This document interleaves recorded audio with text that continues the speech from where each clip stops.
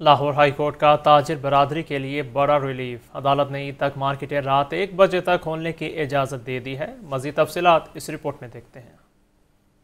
Lahore high court में समोग के तदारुक से मुतालिक केस, जस्टिस शाहिद करीम ने हारून फारूक समेत दिगर की दरखास्तों पर समात की। दौरान समात माहौलियाती कमीशन के मेंबर सैयद कमाल हैदर ने बताया कि अदालती हुक्म के बावजूद लाहौर में दरख्तों की कटाई का सिलसिला जारी है, जिसके बायस माहौलियाती आलूदगी में इजाफा हो रहा है। अदालत ने दरख्त काटने वालों के खिलाफ फौरी मुकदमा दर्ज करने का हुक्म दिया और बावर करवाया की दरख्तों की कटाई किसी सूरत बर्दाश्त नहीं की जाएगी। दौरान समात अदालत ऐसी इस्तः की गई की ईद की आमद आमद है, लिहाजा मार्केट मार्केटें रात एक बजे तक खोलने की इजाज़त दी जाए। अदालत ने ईद तक मार्केटें रात एक बजे तक खोलने की इजाज़त दे दी है। जस्टिस शाहिद करीम ने रिमार्क्स दिए कि समोग पर काबू पाने के लिए तमाम वसाइल ब्रोकार लाए जाएँ। अदालत को बताया गया कि लाहौर में साफ़ पानी की जेर ज़मीन सतह मजीद गिर रही है, जिससे आने वाले वक्त में साफ़ पानी की किल्लत पैदा होने का खदशा है। अदालत ने वासा को लाहौर के अंडरग्राउंड पानी की सतह दोबारा चेक करने का हुक्म दे दिया। लाहौर हाईकोर्ट में दरखास्तों आरोप मजीद समात चौदह अप्रैल को होगी।